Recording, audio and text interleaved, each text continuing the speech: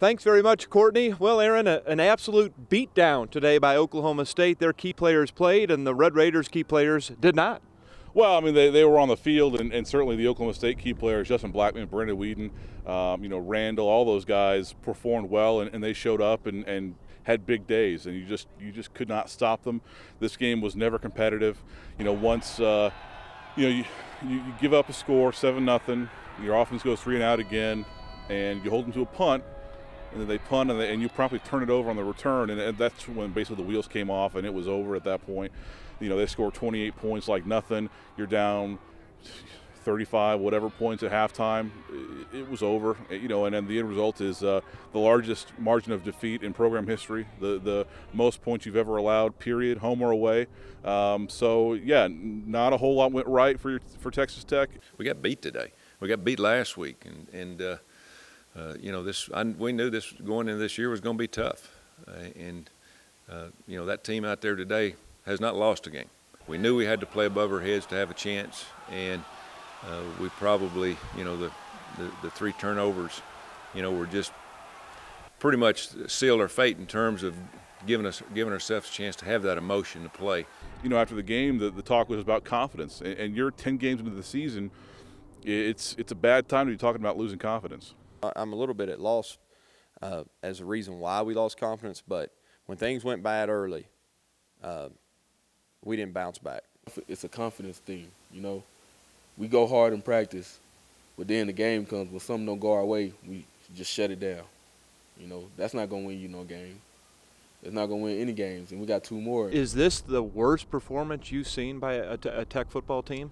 Well, I think I mean Oklahoma State's a pretty darn good football team. Uh, there's no way you should have been outscored 66 to six, certainly. Um, but I think I think worse is still probably Iowa State because they are not a good football team. They aren't ranked. You should not have been thumped as badly as you were. Uh, but certainly in terms of uh, you know margin of defeat and, and the opposing team just doing whatever they wanted to at any point. I mean, the, the, score could have been a lot worse than it did. They took off, their foot off the gas, certainly. Just, uh, just a weird day, a weird way to end a, weird home season. Uh, defensively, we knew there were question marks going into the season, obviously throughout the season. Offensively, though, it's is it Eric Stephens being gone? I mean, this team seems to be losing confidence offensively. Well, I don't think you can really point to Eric Stephens as, as the main reason or even as the biggest reason because they went up to Norman without him and, and won. Mm-hmm. Uh, and, and, they played pretty darn well offensively without him against Kansas State. So, you know, would his presence in the locker room help a lot, especially at, at this moment in time? Absolutely.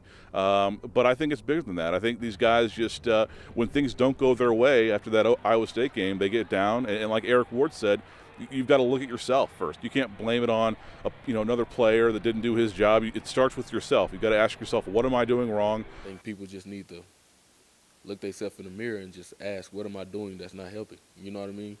It's something that's missing because we practice hard, we go out there and play hard, but effort don't win games. This is not a do good lead. This is an execute lead. You got to execute. You know, for whatever reason, we weren't good in that Iowa State game. We weren't good today. You know, we got to figure out the reasons why we weren't good there, okay? And then we got to prove to those kids, hey, these are the same play, same players. And, you know, I think the confidence all starts with the quarterback. He's got to understand he's a good player, and, and, and he'll play much better on Saturday. Looking ahead, uh, they travel to Columbia, Missouri to take on the Missouri Tigers. A big win for them at home today over Texas, but they lose their key running back in Henry Josey. Uh, your thoughts on that game, and if Tech can win one of these final two and get bowl eligible? Yeah, I mean, you, you have to get bowl eligible. That's this program's identity. Um, you have so many young players on the roster that those extra practices will be crucial for next year. Uh, you you have to make a bowl game. I, I, don't care if it's the Pinstripe Bowl, the Meineke Car Care Bowl of Texas, uh, the Who Care Bowls. It's all about those practices uh, more than anything. Um, so Missouri, I think that's probably a winnable game now without Henry Josey. Certainly more winnable than it was before. He's the Big 12's leading rusher. Uh, haven't won in Columbia ever, but you don't have any other choice. I mean, you have to win one of these last two games uh, to get to a bowl game. I mean, just bottom line. They're not going to let us hold our heads down, or they're not going to let us give up. They're going to coach us hard. And we know that, and we expect to win. We want to win, so we're just going to keep playing. Thanks for your time. Enjoyed it this year, bud. Yeah, you bet. Looking forward to next year. All righty. Courtney, let's send it back to you in the Fox 34 studio.